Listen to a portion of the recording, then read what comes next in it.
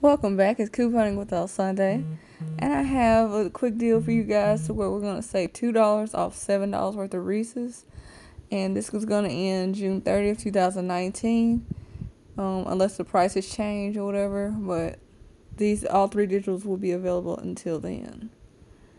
Okay, so the scenario is we're gonna get four of the Reese's five pack. Uh, they're the 2.25 to 3.35 ounces. They are a dollar each.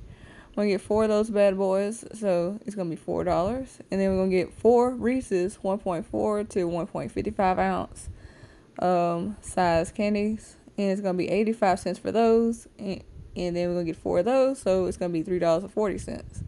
So we reach our seven dollar threshold. It'll make it seven dollars and forty cents.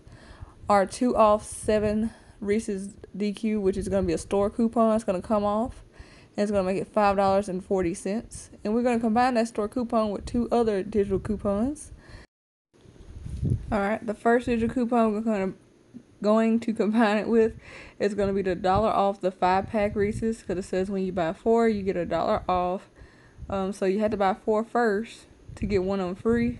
So you buy four um, at a dollar each. That makes it four. Take away a dollar, so it'll make it three. But anyway, a dollar off the five pack Reese's DG. Well, um, so it'll be four dollars and forty cents.